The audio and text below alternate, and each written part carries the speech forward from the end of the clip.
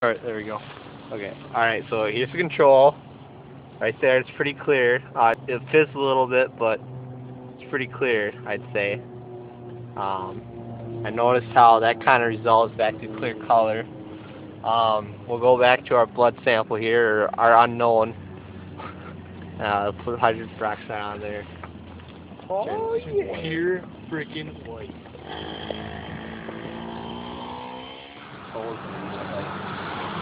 Controls There's control, it fizzes a little bit. But then, like, after a while, it turns clear. Um, so that's control.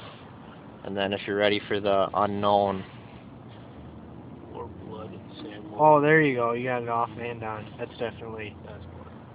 yeah, that's blood. When it runs off, it's clear. So Yep. it's fine with it. Turn it on. So that's the control. And then I'll do dot here. That's white, and then I'll get on and off. So you can clearly see the difference there. And then see how it flows across. You can clearly see the difference. Now actually looking at it. With the light, you can look at it. Yeah.